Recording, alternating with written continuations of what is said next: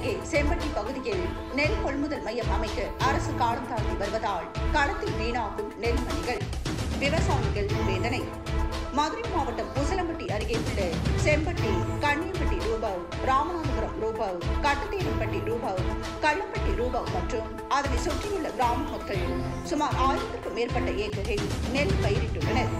இப்பகுதி மக்கள் நெல்களை சுமார் பத்து கிலோமீட்டர் தொலைவில் உள்ள செல்லப்பட்டியில் உள்ள அரசு நெல் கொள்முதல் மையத்திற்கு சென்று விற்பனை செய்து வந்தனர். தூரம் அதிகமாக இருப்பதால் தமிழ் பகுதியிலேயே அரசு நெல் கொள்முதல் மையம் அமைக்க வேண்டும் என அரசிடம் கோரிக்கை விடுத்து வந்தனர். இதனையடுத்து அதிகாரிகள் தரப்பில் செம்பட்டியில் பிறகு நெல் கொள்முதல் மையம் அமைக்க உள்ளதாக தெரிவிக்கப்பட்டுள்ளது.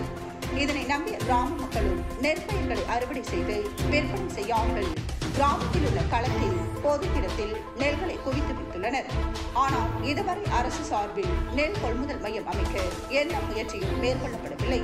இதனால் விவசாயிகள் அறுவடை செய்து வைத்திருந்த நெல் பயிர்கள் மழையிலும் வெயிலும் கிடந்து சேதமடைந்து போவதைக் கண்டு அப்பகுதி விவசாயிகள் மிகுந்த மன உளைச்சலுக்கு ஆளாகியுள்ளனர்.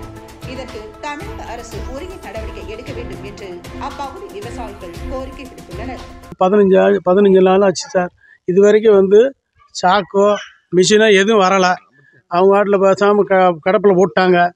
இப்போ தனிநபர் வந்து இது நான் எடுத்து நடத்துவோம்னு சொல்லிக்கிட்டு அதை விட மாட்டோம்னு பெட்டிஷனை போட்டுக்கிருக்காரு. அதனால் அவங்க வந்து சாக்கோ மிஷினை அனுப்பலை.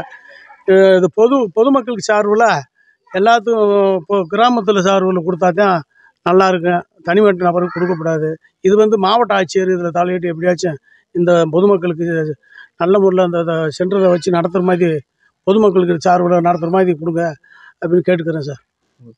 பெருமாண்டி. நெல் சென்டர் வந்து பத்து நாளாச்சு இதுவரை எந்த அதிகாரி வந்து பார்வையிடலை சாக்கு வரல மிஷின் வரல. பொதுமக்கள் எல்லாம் அறுத்து போட்டு நெல் காஞ்சி கிடக்கு. இன்னும் பாதி நெல் அறுவடை இல்லாமல் கிடக்கு. பக்கத்தில் பத்து கிலோமீட்டர் அந்த புறம் சுற்றி சுற்றி கொண்டு போய் போடுறாங்க. இந்த நெல்லை அள்ளி போய் அங்கிட்டு மாற்றி போடணும்னாலும் இன்னும் நிறையா வந்து விவசாயி பாதிக்கப்படுவாங்க தயவு சார்ந்து மாவட்ட ஆட்சியரும் தளபதியார்களும் செம்பட்டி கிராம மக்களுக்கு விவசாய அவன அவநிலையை புரிந்து கொண்டு உதவி செய்ய வேண்டும்.